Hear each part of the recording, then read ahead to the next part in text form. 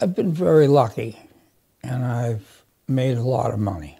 There's no reason to not give back.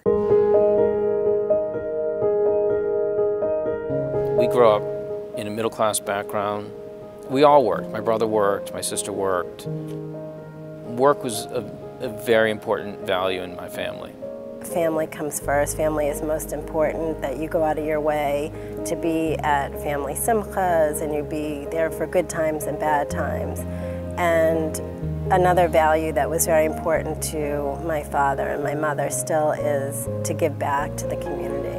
The Ruderman Family Foundation is, first of all, a family business. It's a place that combines values and logic and strategy and passion and devotion to two main issues, to inclusion of people with disabilities across the spectrum, all kinds of disabilities, in all aspects of society, and to strengthen the relationship between the Jewish community in the United States to the State of Israel. Our work started in the Jewish community in Boston, but it's expanded to Israel and really globally now. We put a priority on advocacy, and not just supporting advocacy through giving money to NGOs, but actually leading the advocacy efforts on our own. We look at the rights of people with disabilities in all aspects of life. Inclusion is a state of mind. Inclusion is not a project. It's not just an initiative.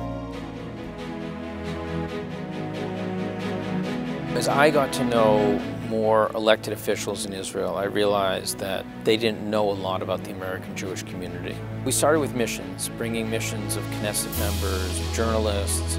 Uh, we established a caucus in the Knesset on the American Jewish community. But most recently, we established the only academic program at any Israeli university on the American Jewish community, which is the Ruderman Program in American Jewish Studies at Haifa University. And our hope is that these students, now we're in our third class, will become future members of Knesset, judges, business leaders, members of the government, uh, members of the Foreign Service, and they'll have a deeper understanding about the American Jewish community and the community's connection to Israel.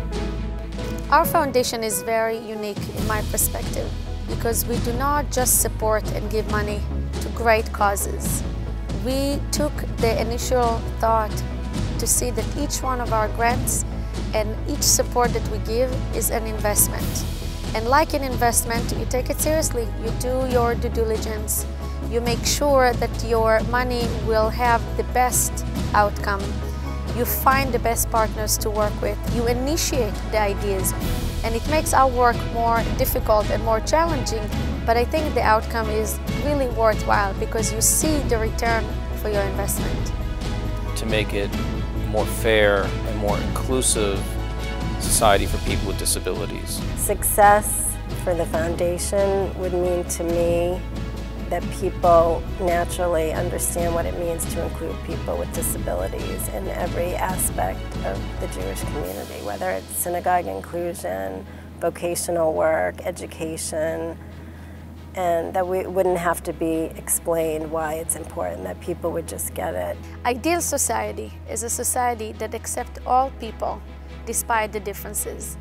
Ideal society is a society that each person feels comfortable with who he is and what he would like to do. In an ideal society, each person looks at its potential and his abilities and not his disabilities.